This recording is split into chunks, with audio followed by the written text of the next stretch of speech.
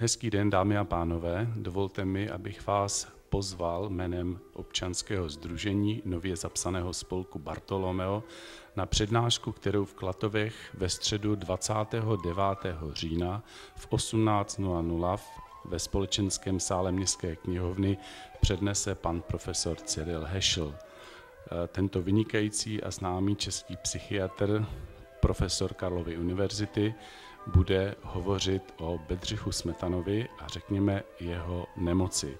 Ale samozřejmě, jak je u pana profesora obvykle, bude hovořit šířeji nejenom o otázkách svého odborného zaměření. Rád bych vás na tuto přednášku pozval a rád bych upřesnil informaci, která říká, že ta přednáška měla být koncem září nebo začátkem října. Správné datum je 29. října v Městské knihovně v Klatovech ve společenském sále od 18 hodin. Předpokládáme velký zájem o vystoupení pana profesora. Pokud by tedy někdo z vás si přál rezervovat místo ve společenském sále, napište prosím na jednoduchou e-mailovou adresu vaclav.chroust zavináč gmail.com nebo pro angličany gmail.com.